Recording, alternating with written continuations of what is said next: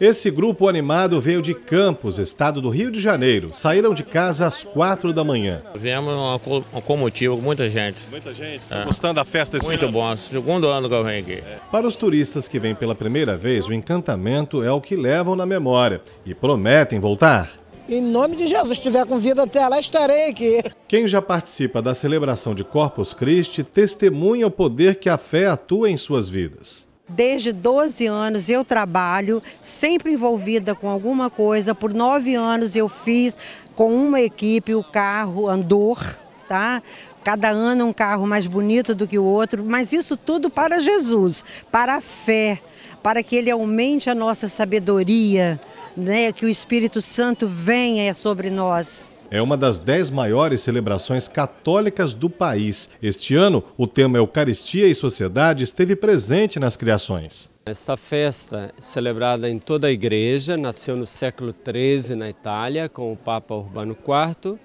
E aqui em Castelo, a tradição dos tapetes para que possa passar a hóstia consagrada, o Santíssimo Sacramento, ela existe já há 52 anos. E é a tradição aqui de que toda a comunidade se empenha, dividida em equipes, prepara durante o ano todo para a realização deste dia.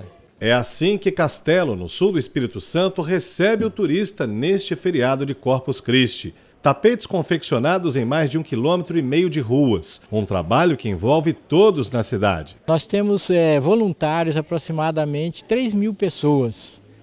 Isso nós podemos contar com as comunidades urbanas que preparam o material, a palha de café, o pó de serra, cipílio, cipreste. Então, a participação deles, das comunidades rurais, juntando-se com as comunidades é, urbanas, nós temos toda essa beleza. Isso está passando aqui em Castelo de geração em geração. Isso para mim é o mais importante, a fé, os jovens participando, as crianças participando e a gente sai daqui fortalecido, cheio de sabedoria, fé em Jesus Cristo cada vez mais. Obras de arte que atraem os turistas. Muitos fotografam cada painel. E ainda tem gente que aproveita para faturar um dinheirinho extra no feriado. É uma festa bastante falada, bastante famosa e a intenção é de ganhar um extrazinho ainda, faturar um extra aí com algodão, com os brinquedinhos. Essa família veio do norte do Espírito Santo para ver de perto os tapetes de Corpus Christi. Nós tivemos indicação de pessoas né, que já vieram visitar aqui, lá de Rio Bananal, de Linhares também.